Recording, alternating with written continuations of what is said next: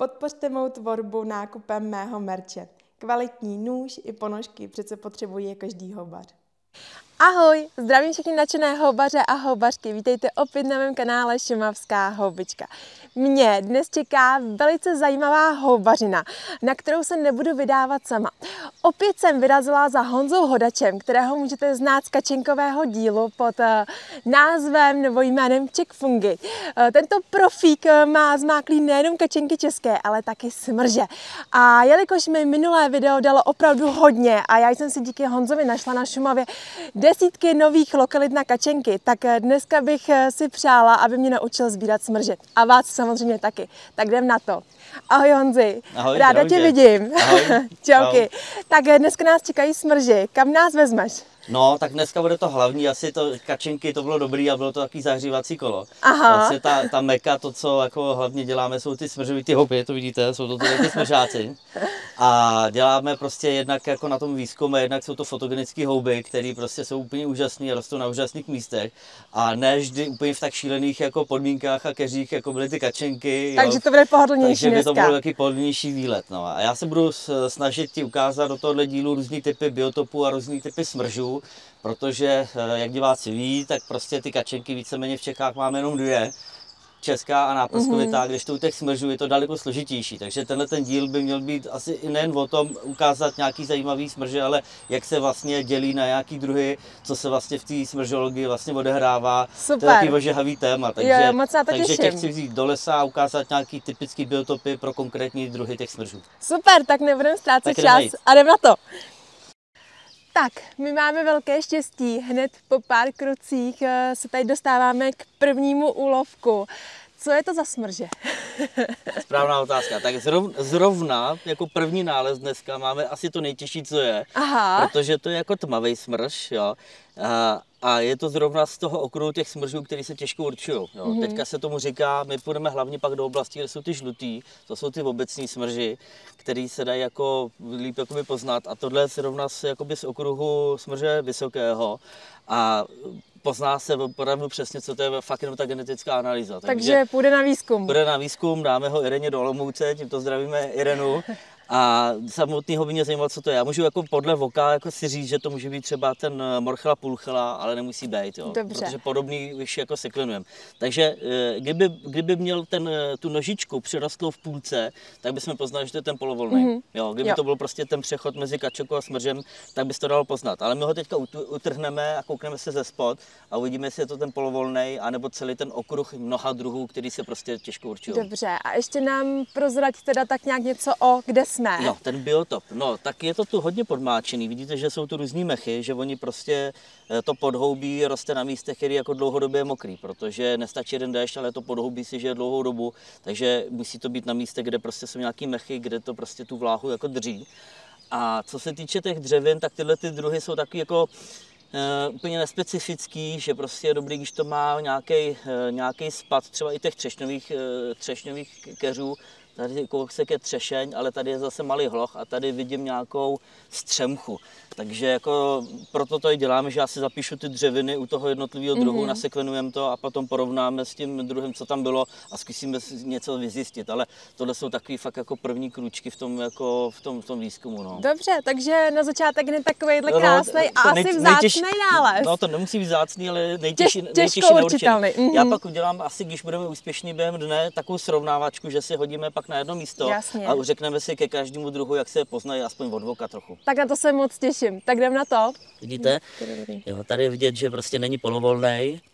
Ale ono to bylo poznat i podle těch, eh, podle těch žeber. Jo. Když jsou ty žebra prostě tímhle tím směrem a takový jako docela hustý, tak je to nějaký ten z toho okruhu vysokého, eh, z toho kláde eh, okruhu eláta. Mm-hmm. Ale jaká eláta, co to je? Ono by se normálně řeklo, že to je to by lidi řekli, že to je kužiláč, že to je prostě nějaký smrš kužiláč. Vypadá tak trošku. Jako kužiláč, Mhm. ale kužiláč jako by měl být morchla konika, která jako zanikla zpomalu, že se rozpadla na ty jednotlivé druhy, takže... Jasně, takže, takže uvidíme, jinak. co z toho bude. Ale dá se říct laicky, jo, když někdo řekne, že to je prostě jakoby ten kužilovitý, ten kužiláč, tak jako to není úplně chyba. Našli jsme dalšího, dalšího smrže a zase jiný druh. Tak eh, co jsme našli? No tak na tomhle místě, kde za náma jsou ty třešně, což je super, že vidíme, k čemu se aspoň váže, tak v této té slatině podmáčený jsme našli toho polovolňáka. Jak jsme vyškubli toho prvního, ukazovali jsme, že to polovolný nebyl, hmm. tak hnedka z druhé strany jsme našli tyhle ty smrže polovolný a je jich tady prostě desítky kolem nás. Jsou to mrňavé houbičky, které ani vzali jsme jich pár, ale necháme, necháme je tady, nebudeme kdo jak vyzbírávat, protože jsou málo vydatní. Z toho dělat porci musíš čekat aspoň 50. A na detail pak můžeme ukázat vlastně, že to je jeden z mála těch druhů, který se dají morfologicky jako od voka poznat. Poznat, což je super. Což teda. je super, že budeme vědět, mm-hmm. je to teda eh, je to teda ten smrš polovolný na 100%. No. Já bych ještě zmínila na začátek, že asi všechny druhy jsou jedlé, takže se vlastně člověk jako eh, sběrač třeba začátečník houbář nemusí úplně bát těch smržů a prostě může sbírat to je výhoda, řekněme... to je výhoda oproti těm kačinkám, kde prostě i proto američani těm kačinkám říkají, že to je false morel, mm-hmm. oni tam do toho berou i ty, ucha, i ty ucha, že jsou to mhm. jako prostě jako false morel, mm-hmm. protože na ně může být nějaká ta alergie nebo intolerance, jak to kolega mm-hmm. jako upřesňoval, kde můžou někomu způsobit prostě nějaký jakoby potíže. Ano. Když to smrží, jsou prostě výborní všechny, takže jak najdete smrže, tak, tak já sáme a, a šup s ním do košíku. Máme na dlani tady pár těch eh, smržů polovolných, když se také otočím, nožím, tak prostě přesně vidím, že ta nožička je přisedlá zhruba v půlce. Když bych ho teďka nějak rozříznul, když ho také rozřízneme, tak to tam uvidíme. Jo, tady vidíte, že on je jako napojený uprostřed. Takže to přechod mezi kačinkou a smržem. Kačinka by ten, ten třeň měla nasedlý tady a ostatní smrží ho mají nasedlý tady. Možná teď vytáhneme z košíku toho prvního a uděláme srovnání. Takže tady je nádherná ukázka. Ze zhora, kdyby jsme prostě nevěděli, tak si budeme myslet, že jsou to stejný druhy.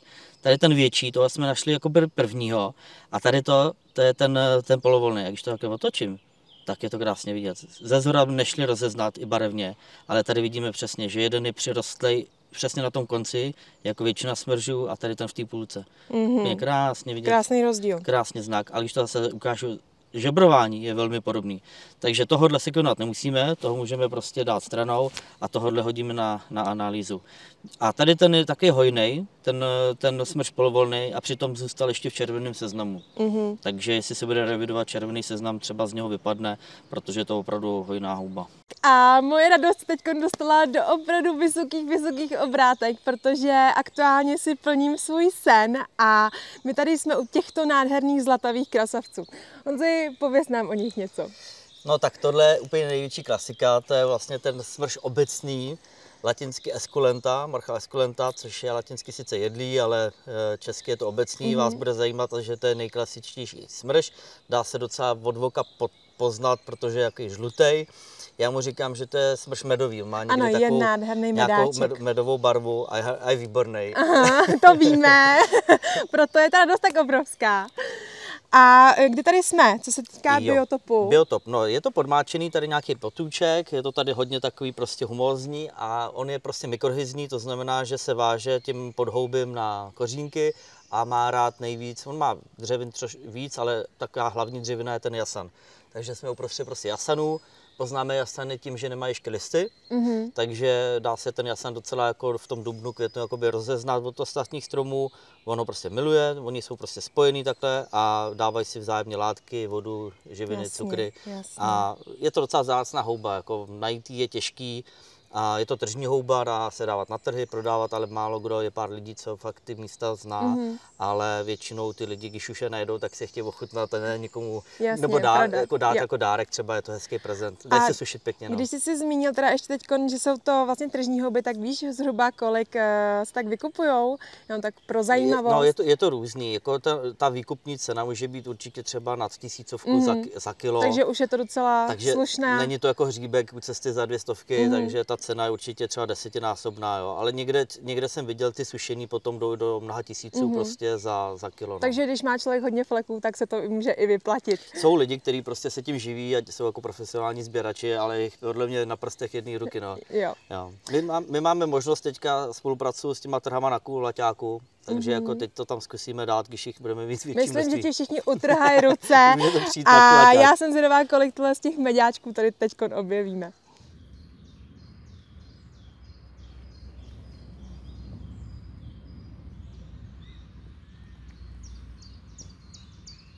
Tak tady ten mi byl dovolený. Tak si budu zase užít tu pecku.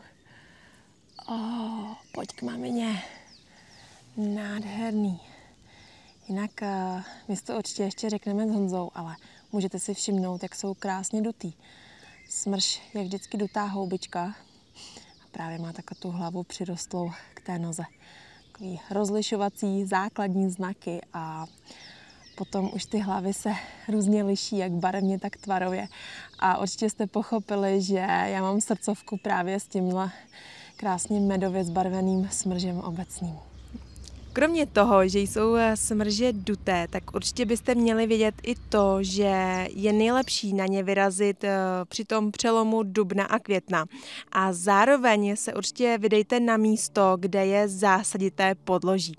Na tom se totiž smržům daří úplně nejlépe. Tak a teď se tady nacházíme u docela vzácné houbičky, kterou já jsem přiznám moc neznám a je to v podstatě poprvé, kdy ji vidím takhle v přírodě. Takže Honzi, co to je? Odkryj nám to. No tak já ji taky vidím asi po třetí v životě, takže to je docela jako vzácnost je najít, ale když už je, tak je jako, jako hodně, je to terčovnice sítnatá a zařazujeme ji vlastně do tohohle dílu, možná tady už trošičku vidět, jak je máme tady vedle nás. Zařazujeme ji kvůli tomu, že ona patří mezi smržovité houby uh-huh. a je to vlastně takový, jak jsem to pochopil, prapůvod, eh, když vznikaly eh, dřív v historických časech eh, smrži, tak nejdřív byly takové jako ty destice. Ona je podobná uh-huh. té destici je, je, je, uh-huh. A udělá takovou prostě jako, je to taková placka a teprve teprve historicky časem se, se začala jakoby dostávat vejš a vytvářet nožičku mm-hmm. kvůli mhm. tomu, aby se dostala na tu vegetaci, jak to chápu, jo. aby dokázala potom vypustit ty výtrusy. Takže tohle je takový po, počáteční, počáteční. Poč, počáteční zkušební vzorek, jak mají vypadat ty smrži a pak oni to dotáhli k té dokonalosti do tady těch, těch smržů, které vidíme. Tak no. mně se teda víc líbí tleti smrži. Tohle je pro mě uh, velká zajímavost, to určitě, ale uh, řekni mi, ta hobička smrž, je jedla. Smrž, smrže máš tady vedle hned, tady koukám nějaký což, polo, což je krásný teda. Nějaký polovol je tam. Když si, když si vyndáme tu houbu, ona je sice v červeném seznamu, ale tady jich je tolik, že si myslím, že se nic nestane, když si taky ukážeme. Vypadá opravdu jak, eh, jak ta destice chřapáčová, ale pozná se tak, že když si čukneš k ní, mm-hmm ano, bazén. Tak, tak to je, když proplaveš bazénem, ona je cítit prostě velmi, velmi po chloru, ale e, já už jsem to zkoušel tím, že jich je tady hodně, tak my jsme brali na výstavu teďka liofilizovat českým ekologických společnosti mm-hmm. A takový ty rozpadlí, co zbyly, tak jsem si je schválně hodil na máslo, jestli budou smrdět a ne. Je to jedlá houba, mm-hmm. která bohužel jako je zácná, žíček moc jakoby nenajde, ale ty kousky, co mi opadly, tak jsem prostě tak normálně osmažil a nic. Úplně jako to zmizí ta, zmizí Počkej, ta... a nic a bylo to dobrý, bylo anebo... to dobrý. Bylo to dobrý. Zmizela ta, zmizela ta, ta, Bazénová ta, ta vůně. No. Mm, je to opravdu teda, když zavřu oči, tak eh, jako kdybych eh, házela prsa a no, úplně plavala. Plavu, úplně, úplně, úplně. Takže tohle, když někdy najdete, určitě přičuchněte, protože je to fakt intenzivní. Tak, momentálně jsme tady, řekla bych, u té největší třešničky dnešní houbařiny. Máme tady jednoho velice, řekla bych, vzácného smrže a je to smrž, na kterého jsem se osobně také velice těšila a fakt jsem ráda, že se nám to povedlo, že Honza vypátral. Tak Honzi, pověs nám, co tady máme za krasavce. Tak já mu říkám, že to je smrš makový, protože on je šedivý jako, jako, jako mák, ale jinak eh, se mu říká, je to smrš černošedý, nebo taky eh, jakoby, eh, no, šed, šed, je to šedivý mm-hmm. smrš a je to Morchella vulgaris, je to jeden z těch dvou smržů z toho, z toho rodu tady těch kulatých, žlutých, a my jsme ho dali vedle, jako srovnávačku vedle toho obecného, aby byl vidět ten rozdíl. Pak ukážeme zase potom v detailu. Takže tohle je ten eh, vulgaris, eh, ten eh, šedivý makový a tohle je ten žlutý, který mu já říkám plástvový nebo, nebo medový. medový. Jo, a tady krásně vidět, jak oni se lišejí. Tenhle ten obecný má ty žebra prostě jiný, má už taky červený, jak je zralej a tenhle ten na žebrech nečervená a má vlastně jinou strukturu tenhle ten má ty plastové, tenhle ten má ty ornamenty, takže on je, jednak je nádherný. Yeah.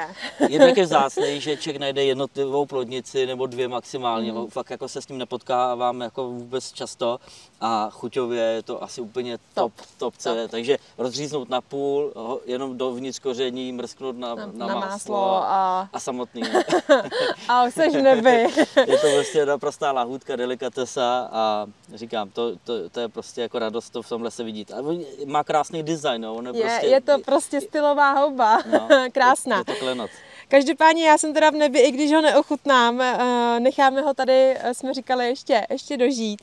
A by Spíš, ho dále do, spíš dorůst. dorůst, dožít No. a do, dodokumentovat, co No. všechno tam bude. Kam až to dotáhne, jak je velký, až bude takovejhle, tak pak Každopádně opravdu krásný nález. Já doufám, že to oceníte, protože tohle to asi jen tak v lese, kde kdo nepotká. Takže doufám, že si to užíváte i přes tu svoji obrazovku. No a my se budeme podívat asi ještě dál. ještě dáme jeden kopeček, no. Tak jdem na to. My jsme se tady usadili, protože tady máme nádherný, opět nádherný nález. Dneska je to fakt prvotřídní houbařina. A já myslím, že už to možná vidíte taky, protože to září do dálky a je to černý. Co to je? Je to černoknižník. to rozhodně. to jsou takzvaný black morals, v, jako v Angličtině, angličtině, ty, který oni sbírají, černý smrš. Je to uh, typ smrže, který je prostě tenhle ten černý, bude z okruhu vysokého, to je jasný. Jo, takže jako Morchela elata, ten okruh. Co to je přesně, eh, můžu typovat, protože nedaleko odsud máme už sekvenované plodnice. Mm-hmm. Vyšlo to jako Morchela eo- eohespera, také se jmenuje latinsky. A jestli tohle to je on nebo není, to se uvidí třeba až za rok. Já to nechám nas- nasekvenovat, ale bude to chvíli trvat. Každopádně je to nádherná plodnice. Je- je Tady prostě dalšího, co jsme našli, jsou úplně v top kvalitě, jsou prostě fakt nádherný. Je to uh, úžasná jakoby tržní houba světově, je to jedna z nejvíc jako ceněných tržních hub. Uh, a podobné druhy právě v Americe se dělají takový ty nájezdy do těch uh, různých uh, smrčin, kde se berou, kde se berou podobné druhy, které rostou ve smrčinách v Americe. Tohle teď jsme ale v biotopu českým, tady ty zrovna tenhle, ten druh ty eohespery, zkoumáme, k čemu se váže.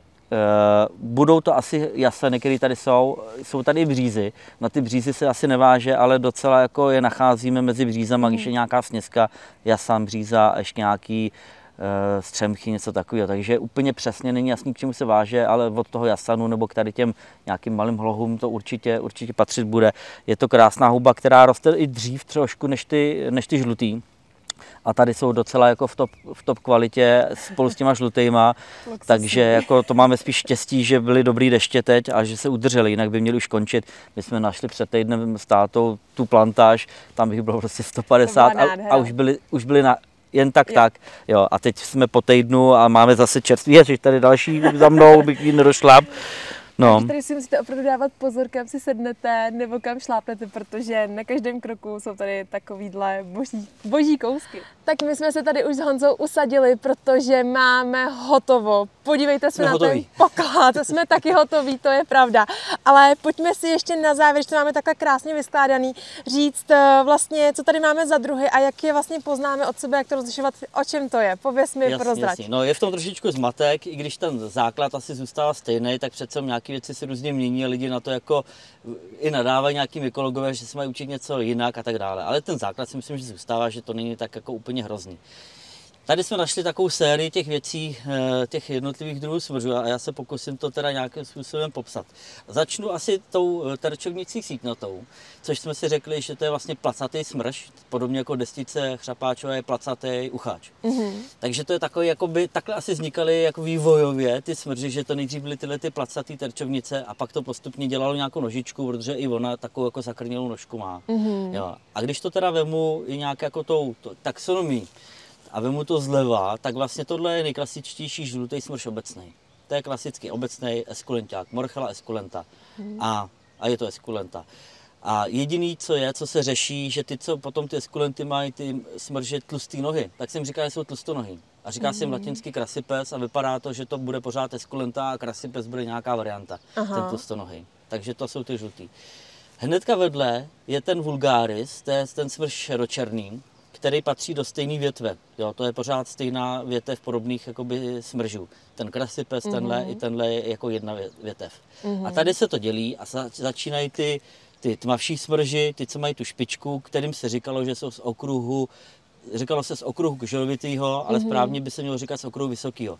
Protože ta větev se jmenuje eláta a eláta jsou ty vysoký. Takže mm-hmm. když člověk neví, nedokáže určit, tak má říkat z okruhu vysokého Dobře, eláta. dobře. Jo, to je toho jedin- se budu držet i já. Jasně, a to neskazíš, prostě Mhm. mm. to takhle, je to z okruhu toho vysokého a, a nazdar.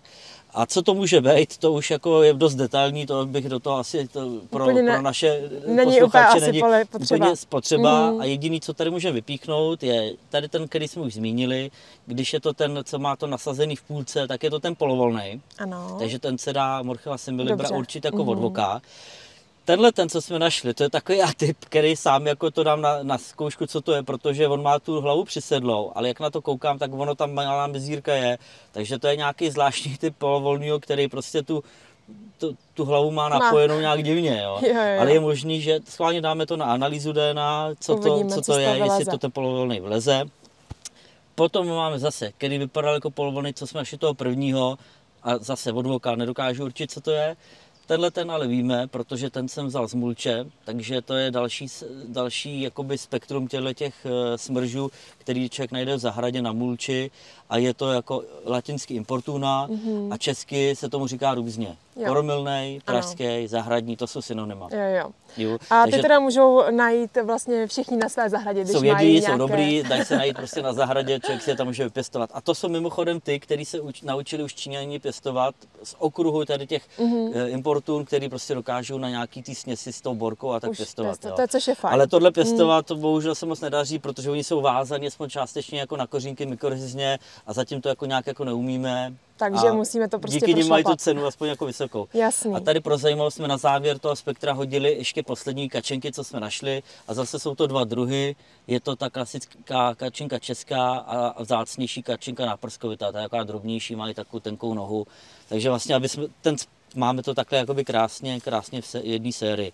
No a jinak tohle, co jsme našli na té lokalitě, tak může být Hespera, kterou jsme sekvenovali před rokem nebo před dvouma. Mm-hmm. Já si myslím, že to bude ona, protože se nachází jako to ještě blízko takže taxonomicky bych tak to jako na 90% to bude ona, ale jako říkám, ani já od voka. My to zkoumáme, fotíme to v detailech mm-hmm. a porovnáváme to potom s je nasekvenovaný a hledáme v tom nějaký niance, jestli se dá prostě podle nějakého znaku třeba struktury žeber napojení říct, je to ten druh nebo jo. není. Takže až bude ten výzkum pokročilý, tak bychom tak to měli umět. Mm-hmm. Takže super. jsme rádi za to, že nám lidi dávají vzorky nějaký, to chci jako poděkovat, mm-hmm. že nám mhm. občas něco posílají nebo ukážou a děkuji za trpělivost, vždycky trvá rok přes zimu, než se to sekvenuje. Jasně, Není to hned, nevíme to do týdne, prostě. lidi pošlou zadek a Jasně. za rok teprve víno. Takže to jde pomalu. Honze, já opravdu dneska štěstím zářím, to si viděl celou dobu. Já že taky, jsem že, to... jsem to, že jsem slíbil a splnil jsem. Jo. Splnil, je to opravdu skvělý průvodce. Eh, pokud byste chtěli Honzu sledovat, tak můžete určitě na jeho Instagramu, kde ho najdete pod jménem Czech Fungi. Dávám pod video odkaz a já si myslím, že mm, jak já, tak vy můžete být eh, určitě spokojení, protože takhle přehledné video, které by ukazovalo vlastně všechny druhy smržů, které se dají najít, asi není. Takže si doufám, myslím, že nás oceníte nějakým tím odběrem nebo nějakými hezkými komentáři, protože tohle si zaslouží, aby to vidělo co nejvíce lidí. Honzi, ještě ti moc eh, jednou děkuji, že jsi mě vzal na takovouhle krásnou houbařinu. Já no, z toho to budu super, žít no. opravdu dlouho. No a jdeš a do kuchyně. jdu do kuchyně, je to klasika, jdu do kuchyně, takže jsem už teď na nové recepty. No a už se dnes asi rozloučíme. Nechce se mi, ale už, už je potřeba je z domu. Máš to a je to, je to, byl to jsem kus. My místní si dáme ještě poslední lokalitu, doufám, že tam najdu nějakého takového. Jo, jo, jo, jo, jo, jasně. tak jo, já se rozloučím, vy se mějte krásně, sbírejte houby, máte tady perfektní teď návody, jak na to, jak Teď na ty rostou. smrže. Určitě vyražte, nestrácejte čas a my vám přejeme, aby se vám taky zadařilo jako dnes nám. Takže ahoj. Mějte se, ahoj.